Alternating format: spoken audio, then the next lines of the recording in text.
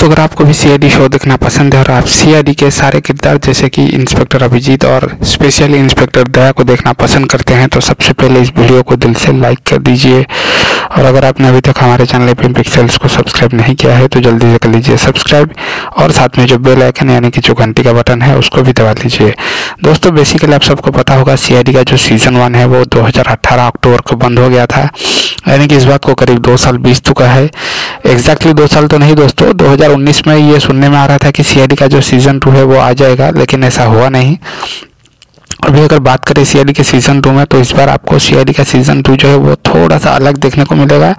क्योंकि इस बार सी के सीज़न टू में आपको काफ़ी रोमांटिक सीन्स देखने को मिलेंगे। जी हाँ दोस्तों, जैसा कि आपको क्राइम पेट्रोल में देखने को मिलता है हल्का फुल्का रोमांटिक सीन्स वैसे ही रोमांटिक सीन्स आपको सी के सीज़न टू में भी देखने को मिलेंगे और इस बार सी के सीज़न टू में आपको काफ़ी सारी लव स्टोरीज भी देखने को मिलेगी, जैसे कि इंस्पेक्टर पंकज और पूर्वी की इंस्पेक्टर दया और श्रेया की इसके साथ जो लव स्टोरी आपको सीज़न वन में देखने को मिलती थी, जो कि थी डॉक्टर तारिका और अभिजीत की, वो लव स्टोरी इस बार मुकम्मल हो जाएगा सीआईडी के सीज़न टू में यानी कि डॉक्टर तारिका और अभिजीत की शादी होने वाली है। तो दोस्तों, ये बड़ी न्यूज़ निकल के सामने आ रही है। आप लोग नीचे कमेंट करके ज़रूर बताइए दोस्तों कि आपका पसंदीदा सीआईडी कपल जो है वो कौन है?